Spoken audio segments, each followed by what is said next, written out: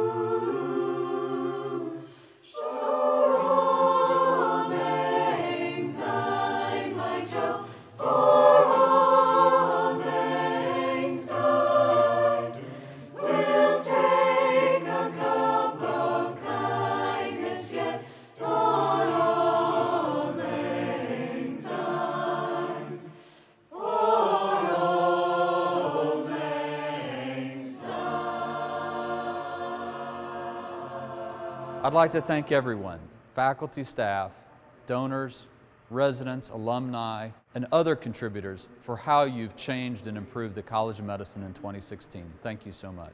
From the University of Toledo, College of Medicine and Life Sciences, Happy New Year and go Rockets!